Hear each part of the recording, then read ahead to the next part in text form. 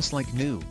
Tons of renovations in this three-bedroom, two-and-a-half-bath townhome in a convenient Goose Creek location.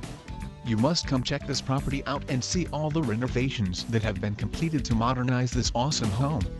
The list starts with beautiful hardwood floors downstairs, new carpet upstairs including all new OSB particle board flooring underneath upstairs, and on the staircase, and ceramic tile in the kitchen, laundry, and bathrooms. The galley-style kitchen was gutted with new cabinets, countertops, stove, G